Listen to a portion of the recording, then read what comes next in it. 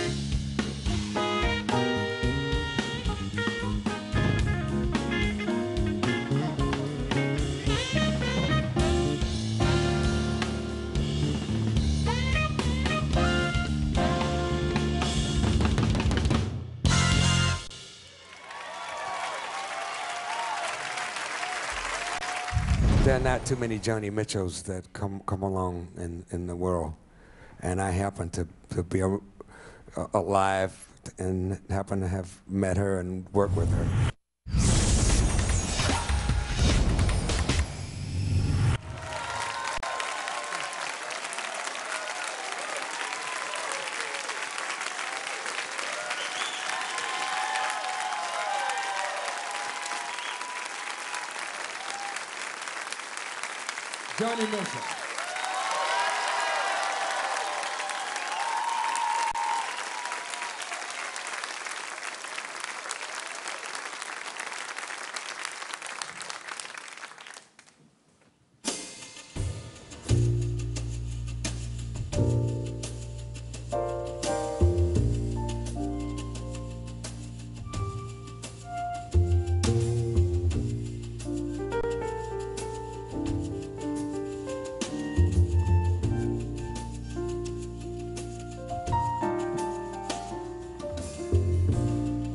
Coming on Christmas, they're cutting down trees. They're putting up reindeer and singing songs of joy and peace.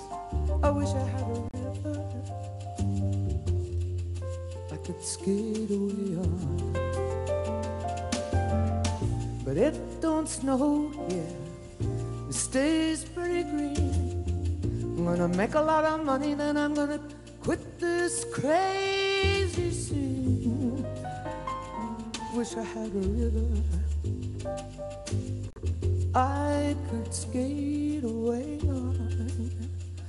Oh, I wish I had a river so long I would teach my feet to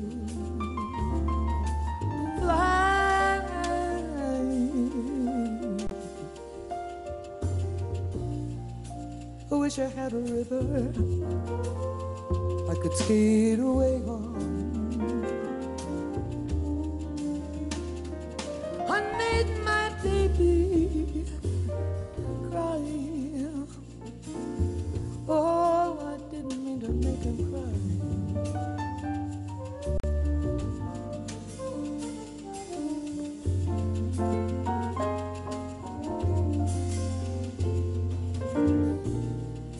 Tried hard to help me, he put me at ease. Oh, he loved me so nice, he made me weak in the knees. Oh, I wish I had a river I could skate away on.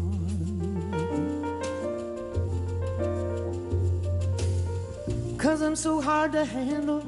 Oh, I get selfish and I'm sad sometimes. Now I got lost the best baby that I had. Oh, I wish I had a river I could skate away on. Oh, I wish I had a river so long I would teach my feet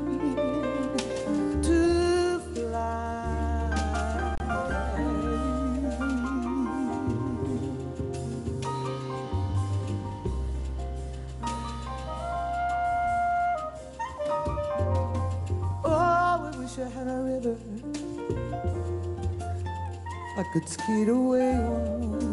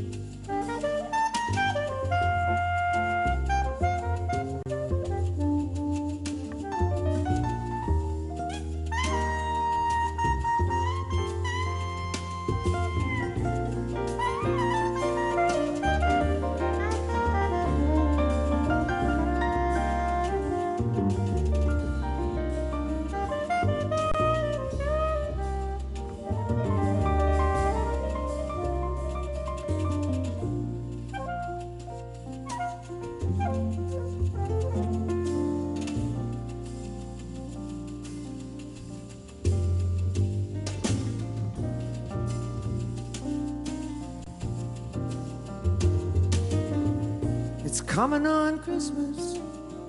They're cutting down trees. They're putting up reindeer and singing songs of joy and peace. Oh, I wish I had a river I could skate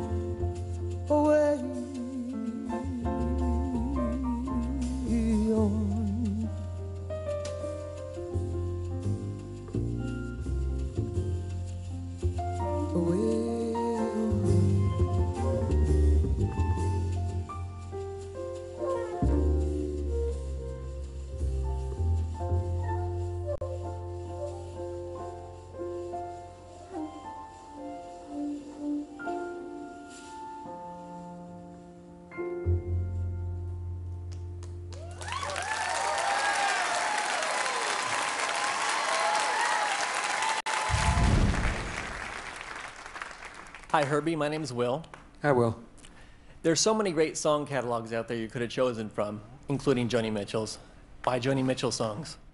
Well, there, there's several reasons. You know, I happen to have a personal relationship with her because I know her and I've, I've been a, a friend of hers and admirer of hers, not just as an artist but as a human being for, for many years now, since the, the, the 70s. You know, and, and just looking at her artistry just for a second. Um, there are not too many Joni Mitchells that come come along in, in the world, and I happen to, to be a, a, alive and happen to have met her and worked with her. So I feel very fortunate in, in having had the opportunity to, to do her music.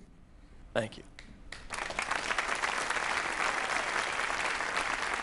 Hi, I'm Nancy, and I'm a longtime fan. My question is what single incident or life experience most had the most impact on your music? Um, jazz is in the moment and is non-judgmental. It takes a lot of courage to play it because it really encourages you to, to really think outside the box, you know.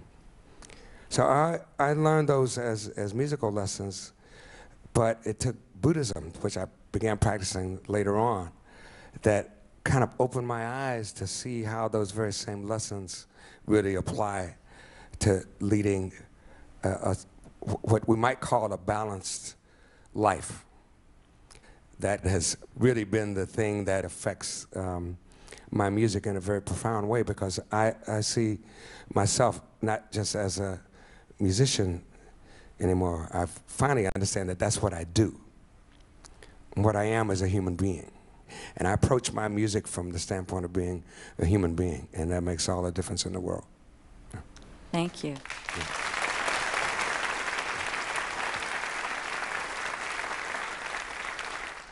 Hello, Herbie. My name is Valerie, Hi, Valerie. and I would like to ask questions regarding your mentor, Miles Davis. Was he intimidating? And also, what advice did he give you that helped your career? You know, a lot of people think that, that uh, I, they assume that Miles Davis was like intimidating and it was like, ah, and, you know, telling you what to do all the time. And quite the opposite. He would have a way of using words that was like, like haiku or something, you know. You wouldn't understand it right then when you'd have to sit and figure it out. One time he told me to play, the, you know, don't play the butter notes. that was, that took me a while to figure that one out. Butter, what is butter? Butter is fat, fat, you know. Uh, maybe it's excess or something, but, you know, what would be the, f- or maybe it's obvious, fat or obvious, you know, maybe that's what he meant. So I started thinking, you know, technically what's obvious? The third and the seventh of a chord are the most obvious notes in a chord. So I thought, wait, maybe if I left those out, you know, he said, don't play the butter notes. Maybe that's the notes he was talking about. So, and you know what? I wound up developing a whole style of music, of, of playing to this day. I mean, I, if Miles hadn't given me that advice, I wouldn't play the way I play now.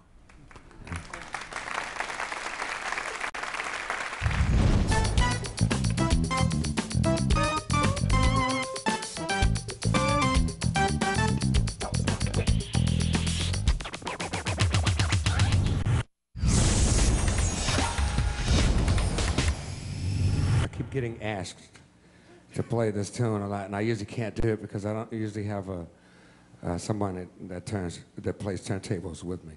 But tonight we do.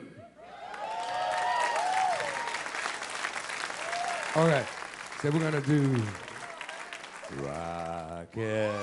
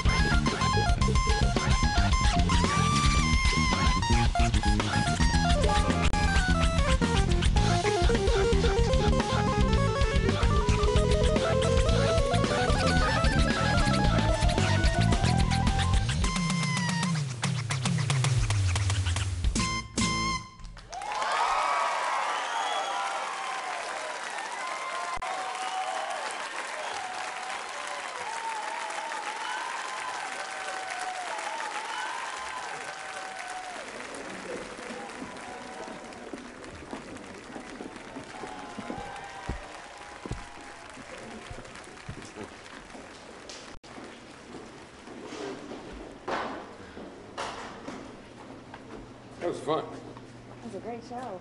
thank, thank you you. so much for Thank you. coming. It was long. That's because I was running my mouth. It was great.